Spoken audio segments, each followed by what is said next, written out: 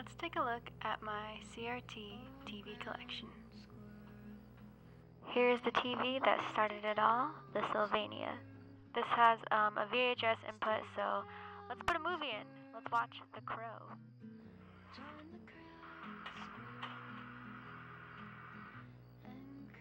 This TV comes with a remote. Um, this is actually my sister's TV, and about a year ago, asked her if I could borrow one of her TVs for a video, and she said yeah, and I used it in so many videos. Um, and I started collecting CRT TVs because I didn't want to borrow hers anymore. I wanted to have my own. So let's look at some of the other TVs that I own. Alright, so I had to brighten this video up so you could see better. Um, this is the RCA TV and it has a clear case. If you ever wondered what the inside of a CRT TV looks like, this is what's inside of most of them. So when I was doing some research on ClearTech, the first thing that I found was this plexiglass car from 1939. Um, and then in the 90s, you had like clear Game Boy cases and stuff. Sometimes ClearTech is made for a specific purpose, and a lot of these clear TVs were most likely in a prison um, to ensure that, you know, inmates would not be able to steal any parts from these things. Sometimes with CRT TVs, you do not have an AV input. So, what that is, is those red, white, and yellow cables. So, I was born in 1997, so I've seen these growing up. But if you haven't seen these, um, and you are born in you know later 2000s and stuff, these are uh, AV cables, and you can connect these to old TVs, VHS cameras, like um, you know, old game consoles.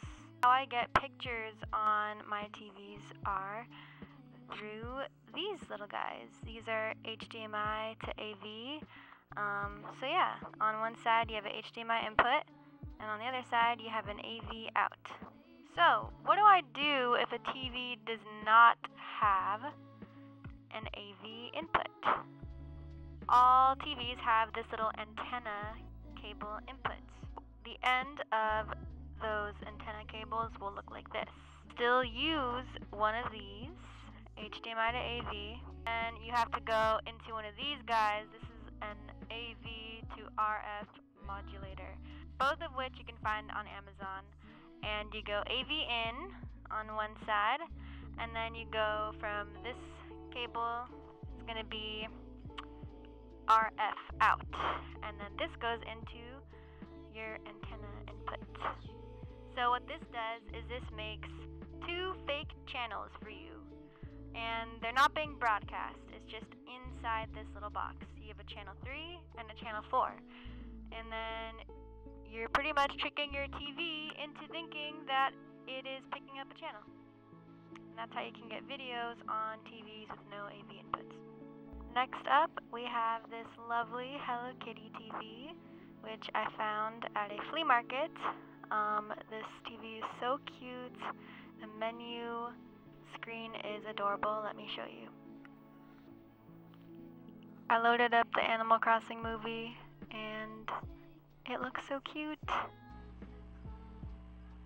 Next up is this small black and white TV um, slash radio and this one is nice because it's portable if you put batteries in it.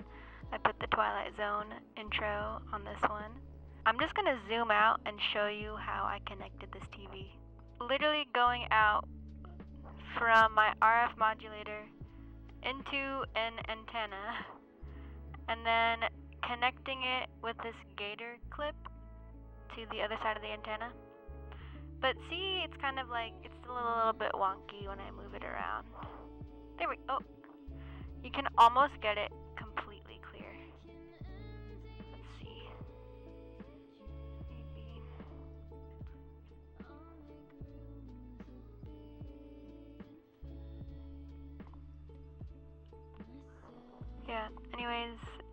Is really cute.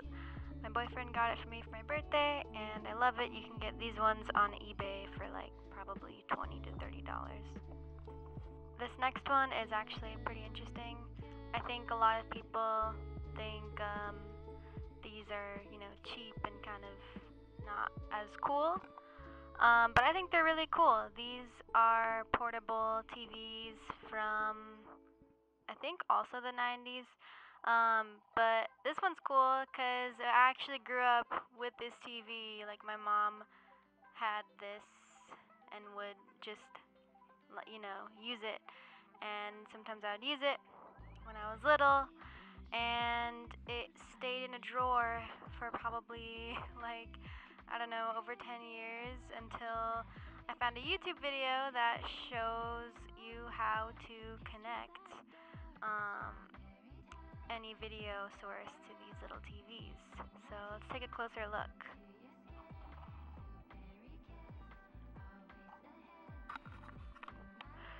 But yeah, here's a close up. I'm shamelessly plugging a music video that me and my friend put out recently.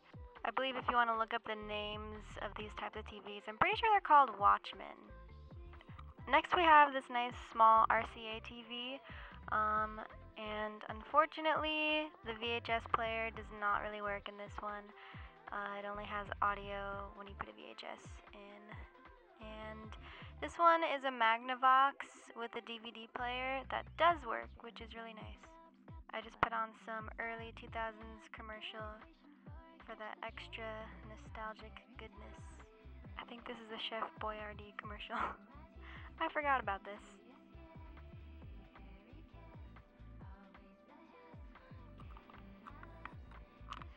And the way I connected both of them to have the same thing playing is I have those AV cables going to the in, and there's also some AV outs on the RCA. So I have more AV cables coming out of the back of this RCA into the Magnavox. Next up we have this Magnavox with a DVD player as well and the Sanyo which does not have anything, it just has an antenna input. Second to last thing I want to show you is this dirty video mixer. This is by JankTunes um, on Etsy and pretty much what you can do is put two videos going in and then the out goes into your TV and you can mix these videos together. So right now I have a live feed of myself from this tiny camera here and I got the matrix code pulled up on my computer and we're to mix these two videos together.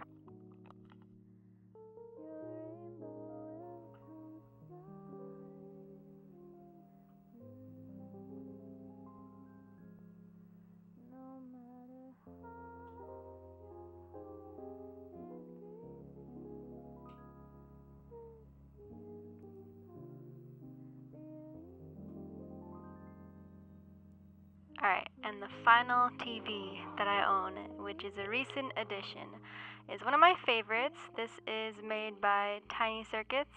It comes with a remote. It also has preloaded videos. This is not a CRT though, I think it's just a tiny little LED screen. But here's the remote.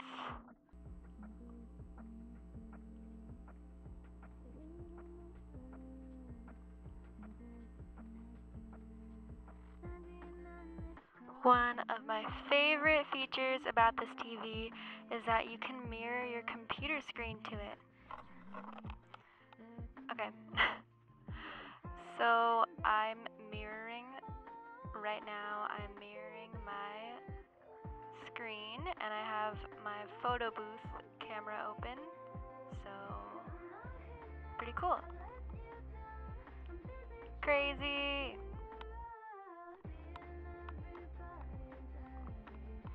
Staring into my FaceTime camera on my Mac right now. Hello. But yeah, um, these are my TVs. Thanks for watching. If you have any questions, leave them in the comment section below.